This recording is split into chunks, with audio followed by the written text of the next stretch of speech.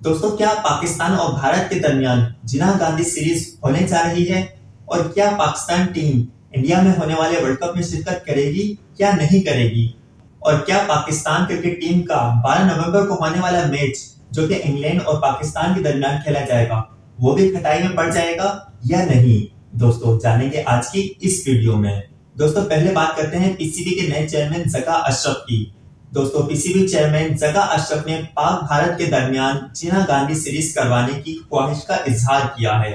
और साथ ही उन्होंने बीसीसीआई से क्रिकेट की बहाली और बाहिमी ताउन पर भी ज़ोर दिया है। और साथ ही उन्होंने ये भी कहा कि जिस तरह इंग्लैंड और ऑस्ट्रेलिया के दरमियान बाकायदगी से एशिज सीरीज़ मुनद की जाती है, इसी तरीके से जिना गांधी सीरीज़ भी हो सकती है।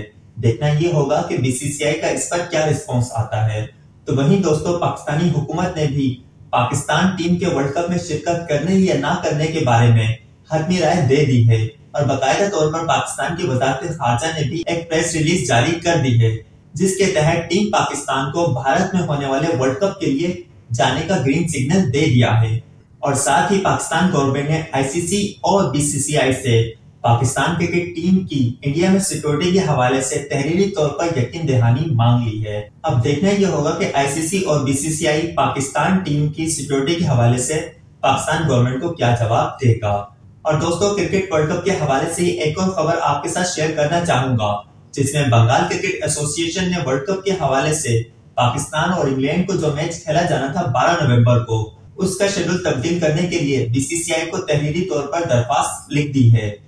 जिसमें बंगाल क्रिकेट एसोसिएशन ने बाकायदा तौर पर बीसीसीआई से दरख्वास्त की है कि पाकिस्तान और इंग्लैंड के दरमियान जो मैच 12 नवंबर को खेला जाना है, उसे 11 नवंबर को कर दिया जाए, क्योंकि 12 नवंबर को हिंदुस्तान में मजहबी त्यौहार आ रहा है। जिसके तहत बंगाल क्रिकेट एसोसिएशन ने बीसीसीआई से रिक्वेस्ट की है कि मैच को रीशेड्यूल किया जाए ताकि सिक्योरिटी की फरहमी को यकीनी बनाया जा सके। वैसे दोस्तों, यहाँ ये सवाल तो बनता है कि जहाँ भारतीय क्रिकेट बोर्ड ने वर्ल्ड कप का शेड्यूल इतनी तसल्ली के साथ बनाया, इतना वक्त लेकर बनाया। और फिर आपने जाकर शेड्यूल जारी किया। और शेड्यूल के ऊपर भी मजीद शेड्यूल जारी किया जा रहा है। यानी शेड्यूल बनाते हुए किसी किस्म के कोई प्रोग्राम को मद्देनजर नहीं रखा गया था। अब इसका जवाब तो खैर भारतीय क्रिकेट बोर्ड ही दे सकेगा। खैर दोस्तों, आप क्या कहते हैं? हमें कमेंट में बताइए।